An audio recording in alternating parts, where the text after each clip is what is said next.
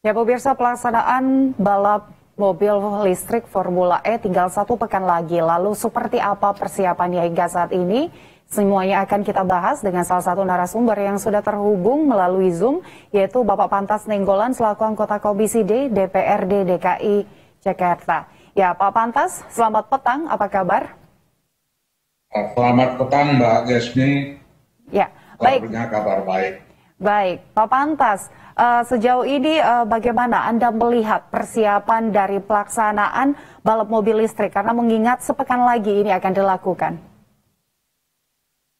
Ya, terus terang ya saya berharap agar pelaksanaan ini berjalan baik, berjalan lancar, sehingga nama baik Jakarta dan nama baik Republik Indonesia di internasional tetap terjaga. Mm-hmm. Itu harapan saya dalam konteks pelaksanaan ini. Lalu dari persiapannya sendiri seperti apa Pak sejauh ini? Karena hingga saat ini untuk arenanya pun masih belum uh, selesai hingga 100%.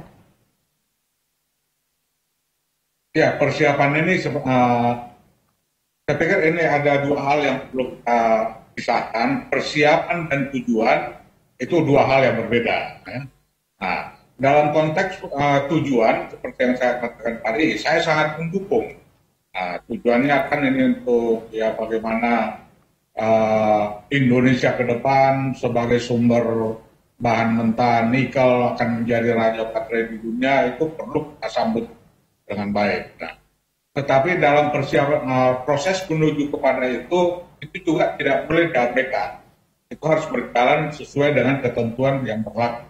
Mm -hmm. Dan itulah yang kita harapkan ada transparansi di dalam persiapan-persiapan tersebut. Nah, uh, kalau kita ikutin perjalanan dari uh, persiapan ini, ya mungkin kita sama-sama lihat ya sedikit agak ramai dan lain sebagainya. Tetapi karena ini melibatkan citra Indonesia di mata internasional, ya kita berharap yang terbaik lah dalam pelaksanaan itu. Namun uh, proses menuju kepada situ tetap kita uh, ikuti, tetap kita harapkan uh, sesuai dengan kompetensi masing-masing.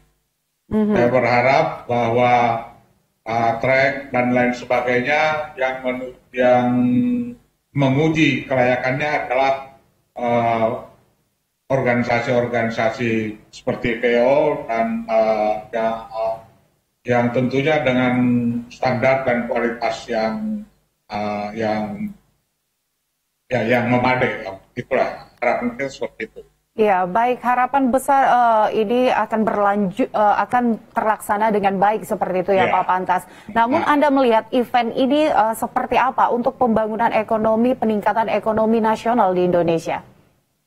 Ya, untuk tujuan itu saya setuju. Saya sangat dukung itu untuk uh, ekonomi Indonesia mampai ke depan dan masa depan Indonesia dengan bahan baku baterai yang luar biasa semuanya ada di Indonesia sehingga itu faktor-faktor pendorong.